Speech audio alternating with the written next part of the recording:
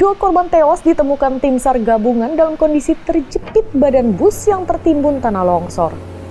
Dua korban yang berjenis kelamin wanita kemudian dibawa ke rumah sakit Adam Malik Medan untuk menjalani proses identifikasi. Tim SAR gabungan juga masih mencari seorang korban lainnya yang masih dinyatakan hilang. Proses pencarian sendiri terkendala hujan yang mengguyur lokasi kejadian. Selain mencari korban hilang, tim SAR gabungan terus berupaya membersihkan material longsor yang menutup jalan lintas Sumatera di Kecamatan Sibolangit, Kabupaten Deli Serdang.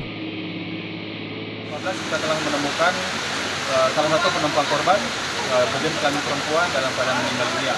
Selanjutnya di lokasi yang sama, setelah bantuan dari tim uh, PU, setelah evakuasi bus tersebut, kita kembali menemukan Eh, penumpang dari bus tersebut dalam jenis kelamin perempuan dalam keadaan meninggal dunia pada pukul 12.25 WIB.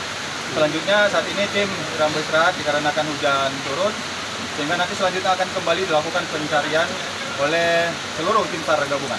Bang, informasi orang hilang yang masih didapat di tim SAR sendiri sebanyak berapa orang lagi nih? Baik, saat ini kami hanya menerima laporan orang hilang itu satu orang atas nama Tengku Rizky, warga Katamso, eh, Kota Medan, namun saat ini kita masih terus uh, melakukan pencarian di sekitar lokasi yang kita duga korban berada sekitar berdasarkan laporan dari saksi. Bahwasanya memang korban yang dinyatakan hilang ini ialah supir dari HS atau salah satu rombongan dari bus.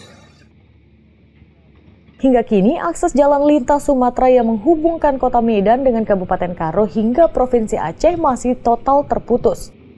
Puluhan mobil masih tertimbun material longsor di lokasi kejadian. Longsor yang terjadi pada Rabu lalu menimpa sejumlah kendaraan yang tengah melintas. Berdasarkan data tim SAR, tujuh orang meninggal dunia dalam musibah ini dan puluhan lainnya mengalami luka-luka dan sempat menjalani perawatan di rumah sakit.